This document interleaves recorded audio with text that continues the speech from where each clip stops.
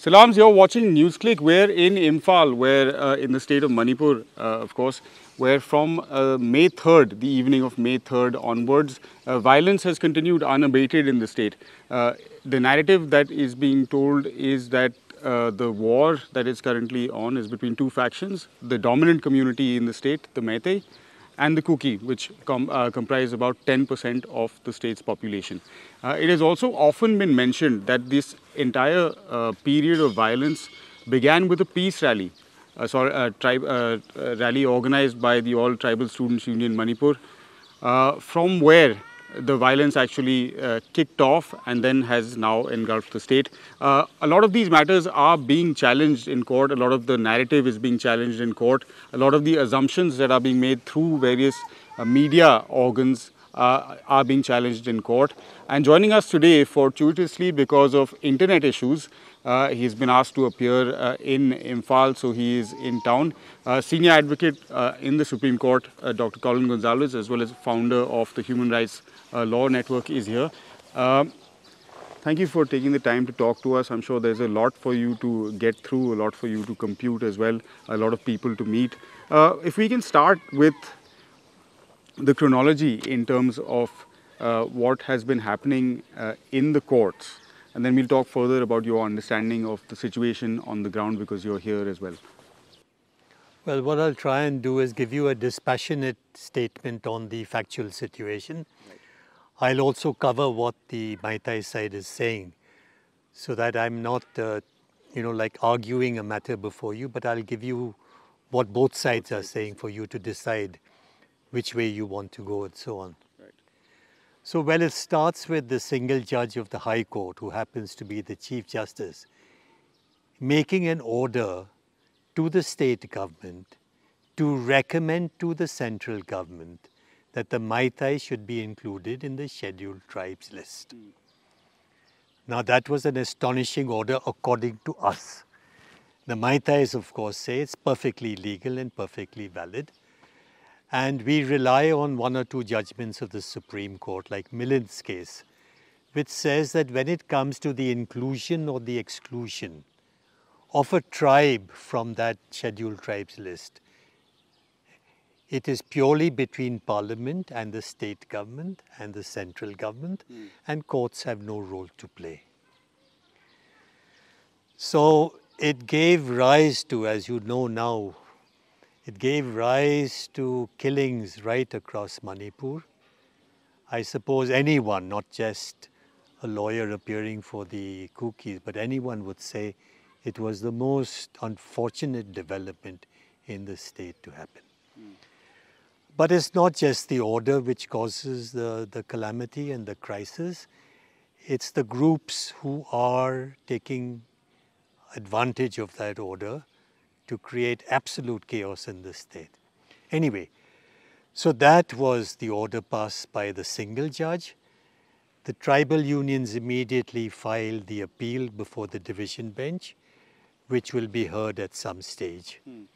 And they say two things. They say, first, when you pass that order, you should have heard the tribals because the tribals are affected by that order. Right. And you didn't hear us. You passed the order without hearing. Mm.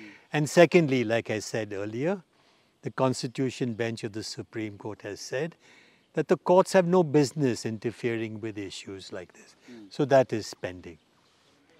In the meanwhile, an interesting development takes place. And I'm just giving it to you factually, yeah. where I don't want to give you a one sided right. view of the yes. whole thing. So now the Meitei side comes to court telling the learned single judge that he made a mistake by directing the state government to make a recommendation. Now, it's a surprising thing to say because that's exactly what the tribal side said. And incidentally, in all this, I think there were some comments made at a higher level about whether this can be done or not be done. And now they tell the court, please change your order and say, don't say recommend, but pass an order to the state government mm. to tell the central government mm. to consider mm. what the Meiteis are saying. So far, so good. To which the tribals say, right? all right, since you've admitted you're wrong on the first part, fine. But you are you're asking for an order to consider the Meitei position. It can't be done. It can't be done. This is what the tribals are saying, right? One, because the Meiteis, the, the Kukis, hmm. are not a tribal in Manipur. They're not on the list of Manipuri tribals. The Meiteis are not on that list. The, the Kukis are. The Kukis are, yes. The Meiteis are not on that list.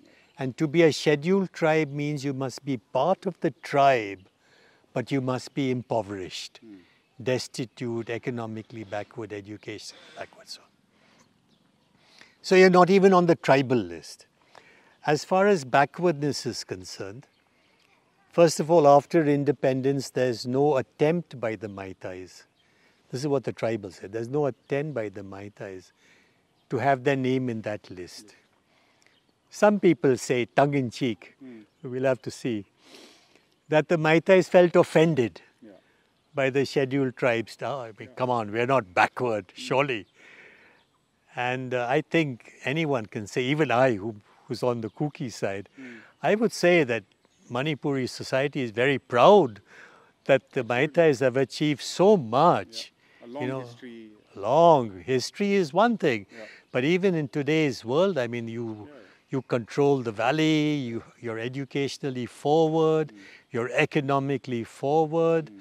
you're politically dominant. Mm. So I think the Mai So Tais culturally, I mean, culturally, culturally. al- So I think if there's one thing where the Meiteis were right, was in this understanding that it's terribly wrong for us to say, means the Meiteis to say that we are backward. We are certainly not backward. And I think that initial reaction was correct. So when the Kalelkar committee, which was meant to revise the scheduled tribes list, hmm. sat in 56, the Meiteis didn't go tribes from all across the countries came, said, you know, you've left me out of the 1950 order, include me. But the Meiteis didn't go. 65 when Lokur committee sat. And again, tribes from all across the country. Hundreds of tribes went. The Meiteis didn't go. Hmm. And now they go to the High Court and get consider my representation. I looked at the material. They've given material. And my senses from that material, I may turn out to be wrong. When they argue, they may prove me to be wrong. But from all that material, I could not find a single line, a single line showing that they are backward. Not a single line. The historical records are pre British, uh, pre pre independence, I'm sorry.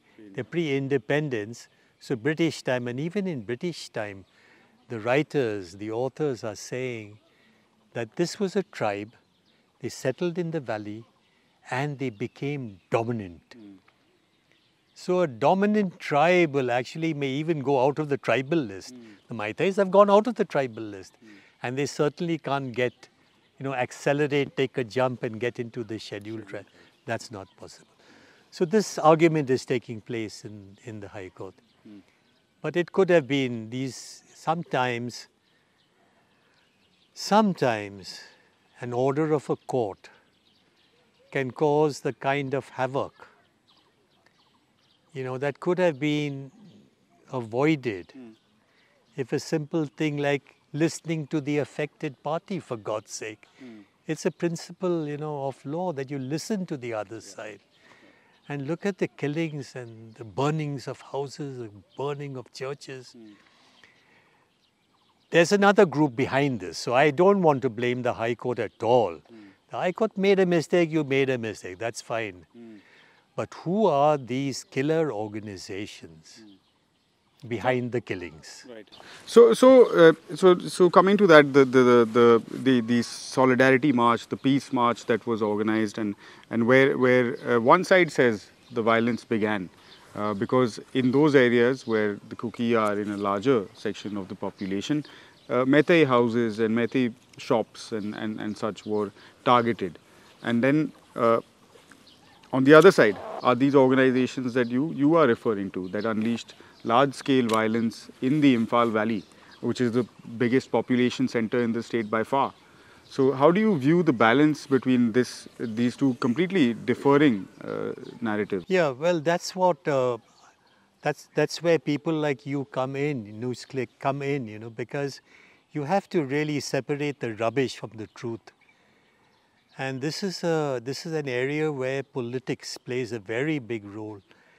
And the party at the center and the party in power in Manipur have started a narrative of falsehood, of lies, open lies. And it's important for journalists not to go by the surface story and to dig in deep and get the truth. As a lawyer, we try to collect the evidence and we put it in into our documents in court. But I think you have a very important role to play here. If you look at the deaths, let's look at, first of all, who's the victim? Who's the assailant? Right? And according to us, and again we could be wrong, the number of Kukis killed are touching approximately 100. Confirmed numbers. Yeah, and when I say this, it means we've gone back to the village, mm. We've talked to the Kuki friends, they have the name of the person, which we have the name, the place where the, the killings took place, so 100. Right? And I think we'd be by and large absolutely correct. I try to get the Meitei deaths, but we are not able to get. But my enlightened guesswork is it'll be perhaps about 25. Mm. 25 Meitei deaths. Now, this has to be taken with another figure, which is how many of them are civilian deaths of Meiteis and how many are the militarized organizations, communal, both communal and heavily armed groups who are carrying out the killing. And my sense is roughly half-half. So out of 25, maybe you'll get 10, 11, 12 who are civilians who are killed, which is most unfortunate, mm. which is very unfortunate. I may appear for the Kukis, but a death is a death. Yeah right? And as far as these two organizations are concerned, mm. I won't repeat their names now at this moment, but it's widely reported in the newspapers. Mm. And they've been so bold as to come on Karan Thapar's interviews and so on. So I would say out of 25, about 12, 13, 14 are the combatants, assailants, mm. and the rest are civilians. Now, if you just look at this, mm. 12 civilians as compared to 100 civilians, you know who the victim is. So that's the first thing in a, in a so-called clash. Mm -hmm. And that word is very neutral, right? Yeah. Clash. clash. What does clash mean, really?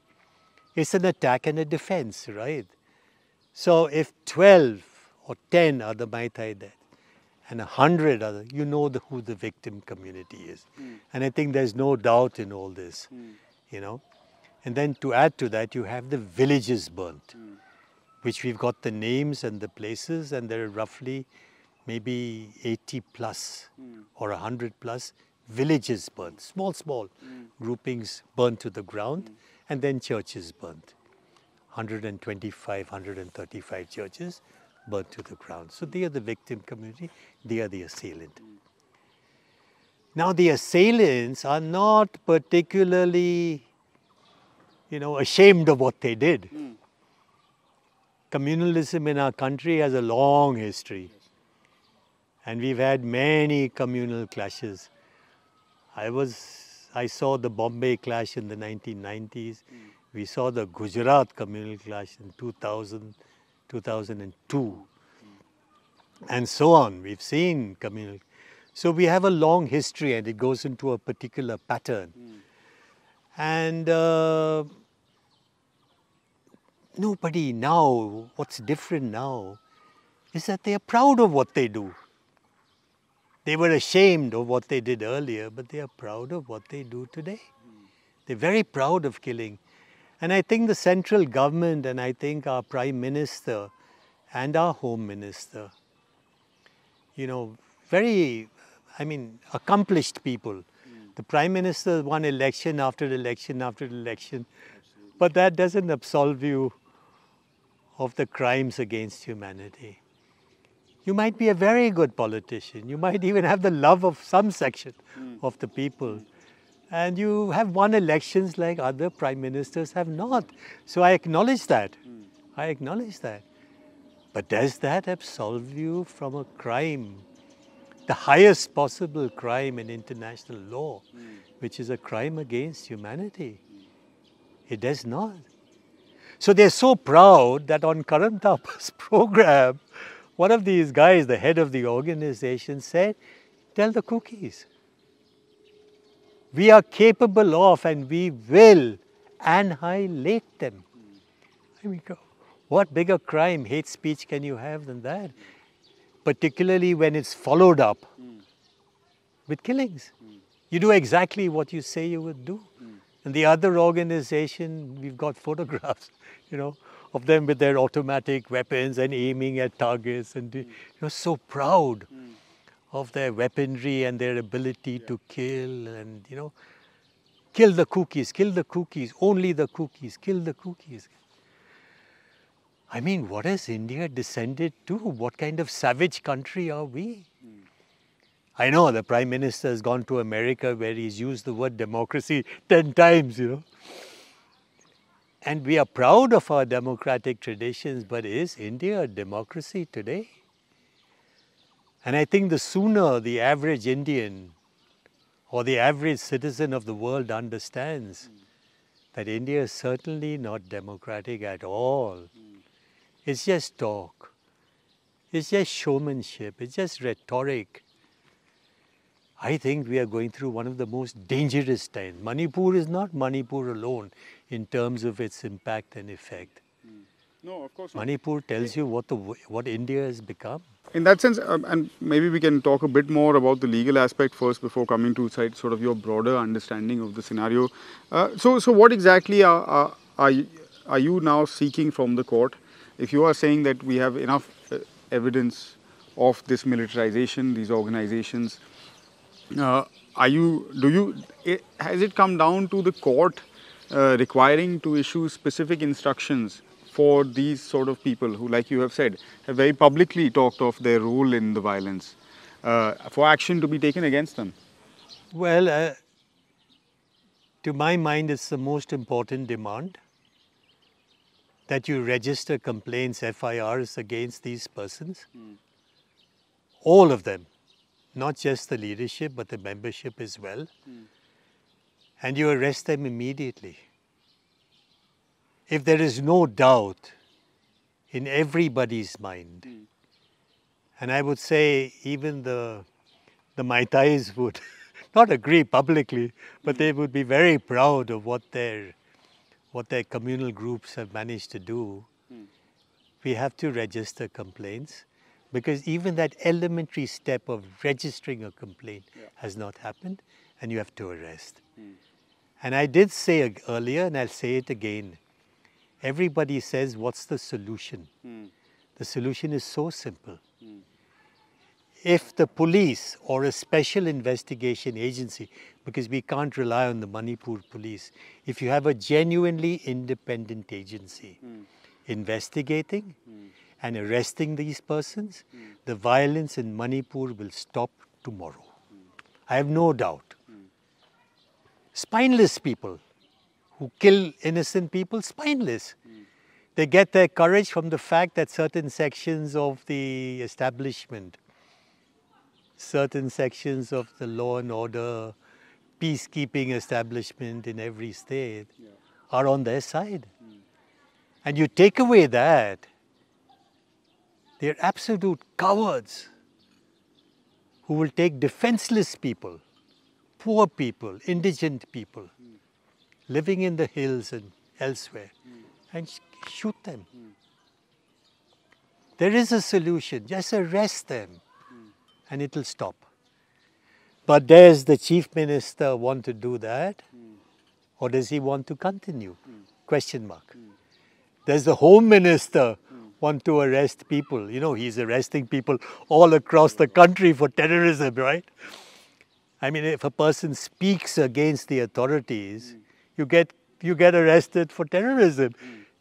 You know, UAPA, the terrorism statute, yeah. for speaking against, criticizing the government, and so on. Is the Home Minister interested? in actually moving against? I don't think so. And is the man at the top interested? I don't think so. So we have a situation where the three functionaries, from the Prime Minister, the Home Minister, the Chief Minister, are they actually proud of what they've achieved? Are they actually agreeing with what has happened? Do they really want to stop it? Or are they thinking, which I think they're thinking, and I think there's an element of truth in this, it's the old fashioned divide and rule between this section of the population and that section. Mm. Hammer the minorities, win over the majority, and win election after election. Mm. Maybe that formula may not work exactly in Manipur because the repercussions have been huge. Mm. But I think at the back of their minds, that, they see it as a political winning formulation. Yeah. We've hammered them. Mm -hmm. So uh, we presume, that means government will presume that all the Meiteis will vote for us, which I think may not turn out to be exactly correct. Mm. As we are seeing now on the ground, right, we are seeing a backlash against this political class yeah. Uh, yeah. by the people, by, led by some of these Meira Paibi and all who are angry. Uh, because like you were mentioning, well, of course, um, some uh, of the deaths on the Meitei side are those who belong to these groups. Uh, those who are not being able to, for example, sow paddy in the fields out of fear uh, of being attacked from the hills, and because they have been told that there is this possibility that any, at, any, at any point a sniper sitting up on the hill uh, will shoot you while you're out in your uh, field, uh, you know, doing doing your work. And so we found the paddy crop for next season. It's sowing time now. The work has not really begun. Uh, how, how do you see uh, this sort of uh, panning out from a, a, political point of view, uh, or, or is that something that you don't want to get into at this No, see, I understand what you're saying, and I agree with what you're saying. But there's a world of a difference between being angry and not voting. Mm. Right? And I think the, the judgment call is this mm. that whatever we've done and whatever problems have happened to the Meitei community, we believe that by us attacking the Kukis, hmm. hmm. the Meiteis will, as a block, vote for us. Hmm. And so, well, what does it matter in Indian democracy? What does crime matter?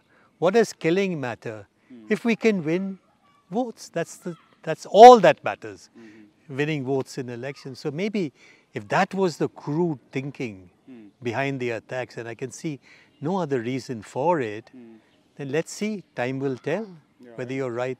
And we're also a long time away, I think, from elections in the state. Uh, uh, still another, I think, what, four years to go. So, yeah. so a long, long way off. Uh, any other aspects of, of the legal uh, side of things uh, now? What what can we expect from the next hearing, uh, or? or well, I just want to say I, I don't want to answer your question, but I want to say something of a general nature mm. linked to your question. Mm.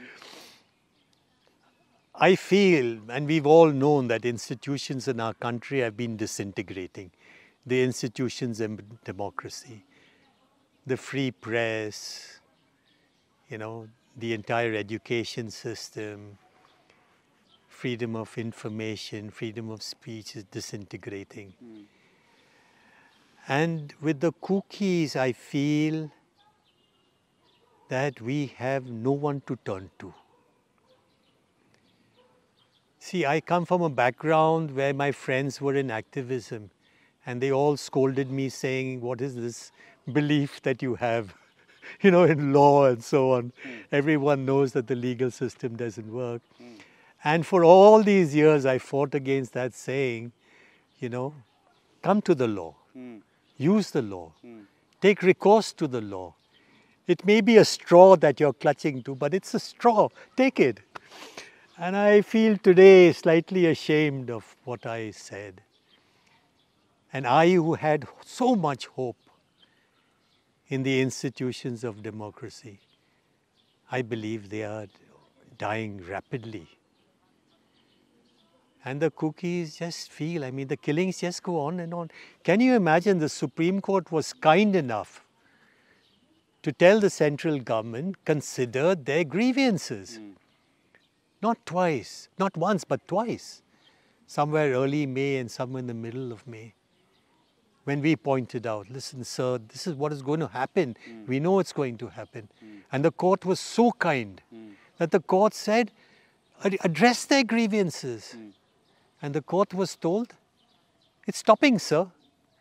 In fact, it's already stopped for the last two days. Nothing has happened. Yeah. And then killing, killing, killing, killing. So the Kukis feel, and I personally feel, that we have really nowhere to turn to. Mm. We feel that God has forsaken us, in a sense, you know. That, that feeling of abject futility. In the processes of democracy. Mm. That's what Manipur signifies. Uh, and yet, uh, I, I, suppose interesting for uh, our uh, audience also to note that uh, you are still in court, you are still engaging with that process, uh, whereas the same might not be said of all sides. have you ever seen anything like this before in your time at the Human Rights Law Network, where the chief minister, the, who's like you said, voted in with a massive mandate, 50 plus days of ongoing uh, well, uh, whatever you want to call it, violence, uh, unable, unwilling, or in either case has not had any conversations with the other side. Gujarat, classic model, classic model. No communal attack can take place in this country without the head of that area, that state, giving the orders to attack. If the police are told, if the police are told by any chief minister or prime minister, stop the violence, our police force can stop that violence in 24 hours. I have no doubt. Mm. And I've had senior police officers tell us, Colin, if we had a free hand, mm any police force in any state will stop the violence in 24 hours. Mm. If it doesn't stop, it means the order to continue comes right from the top. Gujarat was that. Manipur is that. So what do you do when the heads of yours, your governance is giving orders to kill? What hope can an Indian have? Why should young Indians stay in this country? I'm old, so I'm hanging around. You know? Mm. I really tell young people today, I said, if you can get out, get out. Young, idealistic people come to me, they want to work in law, they want to do social work. Yeah. I tell them, if you can get out, get out. Yeah. There is no hope, there is no future for you, there's no future for this country. I, I mean, it's interesting uh, what you're saying. Uh, we often hear this in, in the Northeast uh, that, uh, you know, th there is this politics of otherization, that India doesn't really care. Uh, that on the one hand, we want this idea of the union of India and everything, the democratic traditions and values that we want in theory. Uh, but when it comes to the Northeast, that completely goes out of the window. No, not exactly. But so, yeah. So no, no, no, not exactly. Hmm. The country cares for the votes, not the people. They care for the votes. Mm. And to get that vote, mm. they must have people on their side. Mm. And in fact, this government has done quite a bit of improvisation in the Northeast and won elections here. Hmm. The question is, what is the way in which you get the votes? Hmm. Is it divide and rule? Hmm. Is it by spreading hate? Is it by creating divisions? so that the minority may not vote for you, but the majority will, mm. then it's a model of communalism. Mm. You're winning election, but you're spreading hate. That's the model. But uh, the government is very good in the Northeast, central Good in the sense that they've mastered the British art of divide and rule. What the British did, this government does 10 times better. Spectacular division of the country and the winning of elections. You know, uh, we have also been here for quite some time and therefore are kind of cut off from the rest of the world because of the ongoing internet ban uh, and things like that. And eventually, hopefully, people in the state will get a chance to uh, watch this interview and, and hear your take on it. Uh, what do you make of, and, and we can do this in any sort of way that you like, one, how the media has been approaching uh, the, the situation in Manipur, and, and, and, uh, and secondly, is there a narrative or an understanding that uh, this is somehow a Hindu bastion in an area surrounded by Christian dominated uh, states like let's say Nagaland or Mizoram and and that helps in the center kind of uh, a allowing some of these forces a freer hand than they normally would uh, and B also spending more resource than uh, in that uh, in the achievement of that objective. Yeah, let me answer your first question, which related to uh,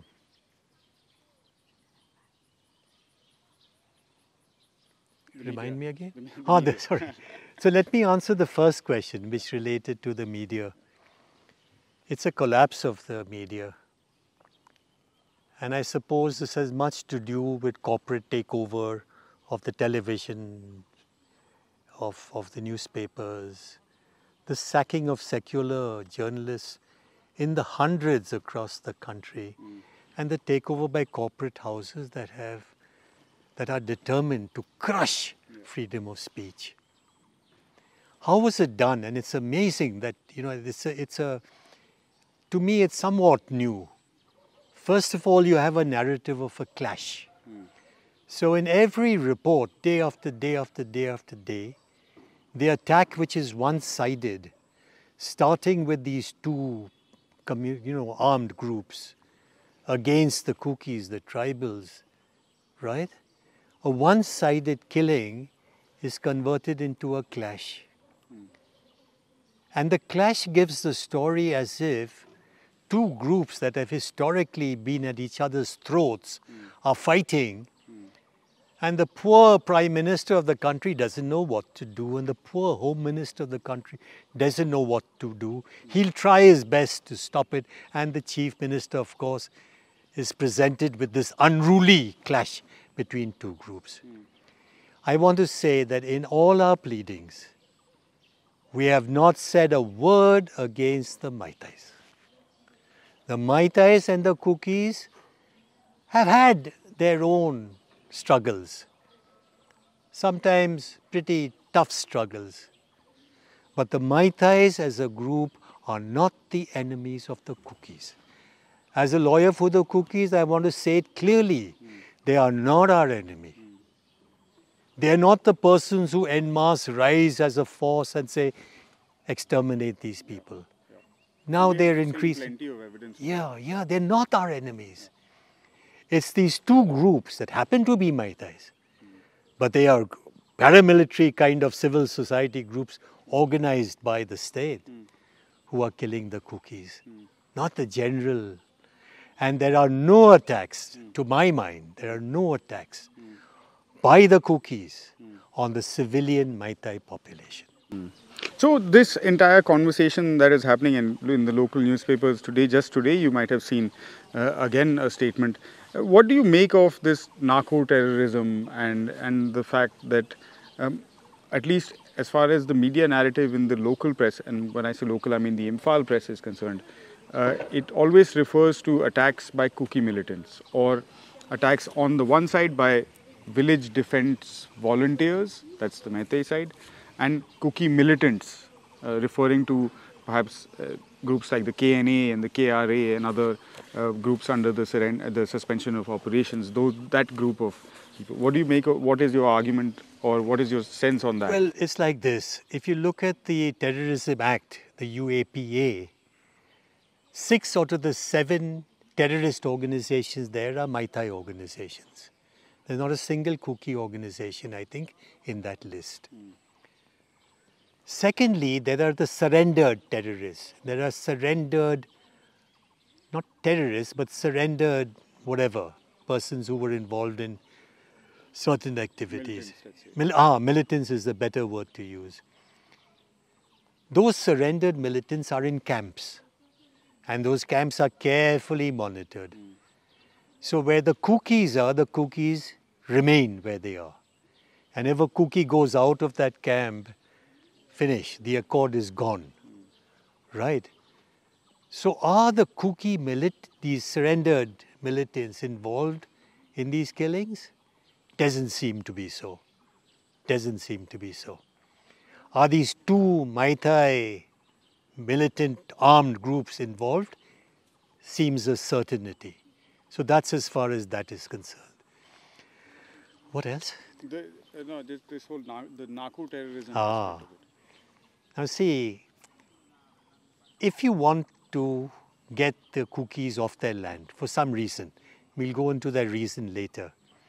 But if your idea is, if the if the these communal groups' idea is that we want to smash these Kukis and take their land, right? What better explanation can you have? That actually we are not interested in their land. We are interested in stopping poppy cultivation, right? Okay. Is poppy cultivation going on? Yes, it is. Is it going on on quite a scale? Yes, it is. Are the Kukis involved? Yes, they are. But are other communities equally involved in poppy culture? Yes, they are. The whole of the Northeast. The whole of the Northeast is involved to some extent. At least I know in, um, in Manipur, there's poppy cultivation. That's not the real question to be asked. Who takes that poppy produce and sells it? Hmm. Yeah. Who are the drug lords? That can't be done by poppy cultivators. Who are the drug lords in Manipur who are handling the entire poppy? You're scolding. You're scolding the cultivator, sometimes absolutely destitute cultivator. You know, working on wages that are maybe. You're blaming him for the drug problem, but who is the drug lord? And there was this uh, very enterprising young additional superintendent of police, Brinda, who wrote a confidential report to the present chief minister saying this is the connection between politicians and the drug lords. And that report we have asked for, saying give it to us, but that report I can guarantee will never be made public. Hmm. Then there are stories abounding. Hmm. That you know relatives, close relatives of very high politicians hmm. in power today and former politicians in power once upon a time, their relatives are drug lords. Everybody knows, everybody can see, everybody understands. Yeah, But- NSK Imphal is a small town. Yeah, it's a small town. So what are we talking? We are talking about the drug lords accusing the poppy cultivators. Hey, you guys, we need to come and kill you because you're doing poppy cultivation. Hmm. Yeah. When they are actually the whole, you know, organizers of the drug trade in Manipur. And there's a case filed in the Supreme Court by persons affected by the drug trade, you know, for measures to be taken to stop this. The drug trade in Manipur is affecting many, many young people. Perhaps not just in Manipur, but the rest of India as well. Perhaps outside India as well. So I think all of these issues, uh, Colin, are of course connected to, um, in many ways, at least at least how far they have uh, been imbibed by the common people of the state, uh, down to the media, which is extremely powerful in Manipur today, particularly uh, in Meiteilon, the, the local language, whether it's the newspapers or, or the radio. Uh, of course, the internet also had a role to play, but as of now, it's uh, not, not uh, in existence anymore. A big point in the media has been illegal migrants coming in from Burma uh, of the Kuki-Chin sort of broader tribal family, uh, and how they are both the ones that are armed, the ones that are, uh, you know, responsible for deforestation, for for setting up new villages in in reserved and protected forests, uh, and and and therefore essentially threatening what, what, the Meitei are defending, the territorial integrity of Manipur. Uh, what do you make of that argument? Or that? Uh, yeah, I think that was answered very well by Professor Swan, who's the head of, I think, political science in Hyderabad mm-hmm. University. Mm-hmm. And he looked at statistics of the growth of the population mm. in the uh, Meitei villages and the Kuki villages. And he found that the rate of growth of the Kuki villages was less than the rate of growth of the Meitei villages. Mm. So these things must be answered scientifically mm. by reference to where did you get these figures from? When you say that people are migrating in large numbers, mm. what numbers are we talking about? Mm. And if they migrate in large numbers, mm. then you'll see it reflected in the village records. Because they come in, yep. let us say if this is true, mm. then they are permitted to have a plot of land, then they are permitted to build a house, mm. then their children go to school, then when they get sick, they go to the hospitals. So these records will show you the growth in the population of a particular village. Mm. And going village by village, you'll get the exact statistics. Mm. Is there migration? I suppose there might be in migration. It's a porous border, I guess. It's so. a porous border, and definitely people will come in. But is the migration of an alarming level that you feel it distorts the the ratio in the population, mm. it doesn't seem to be so at all. There doesn't seem to be any evidence mm. to show that this has happened. I think that is the answer to this. Yeah, in fact, uh, I mean, it's, I it's also answer, reported in, in yeah. yesterday's paper that the cabinet's own uh, Manipur state government cabinet committee that looks at uh, this aspect has found around 2,000 in total uh, illegal yeah. migrants. So that that pretty much uh, so that's minuscule. That's of, yeah, that yeah, that's minuscule. So why are they saying this? Yeah. In migrants, we've got to stop them. Mm. Poppy cultivation, we've got to stop them. Mm. Why are they coming up with these things? Are they not simply excuses mm. to justify hmm. a military style attack on the tribals? Hmm. That's the answer. Hmm. That's the answer. All right. Uh, finally, uh, Colin, you have to take this conversation forward because by all official accounts, I think uh, this mass scale violence has already come to some kind of an end.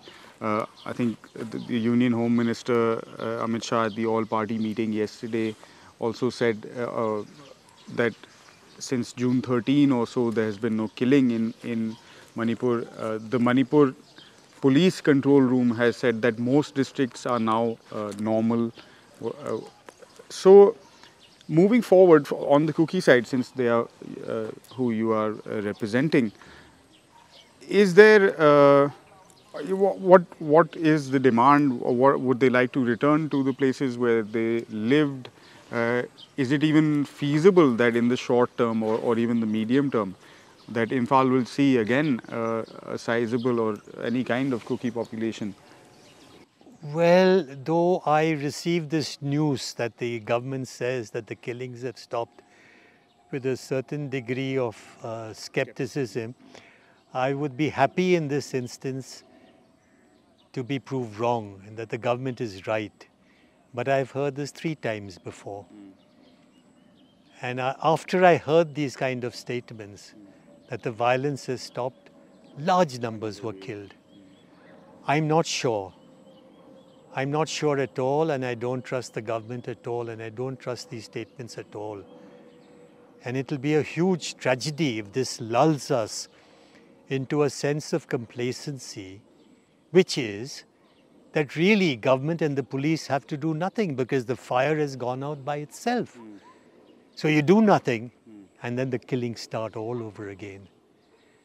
The killings will only stop if the assailants are arrested, like I said. And we are focusing on that. We want the assailants arrested, and as long as they remain in society, can you imagine the killings stop? But this group of 200, 300 armed people remain in society, remain to train other people, remain to spread hate. Hmm.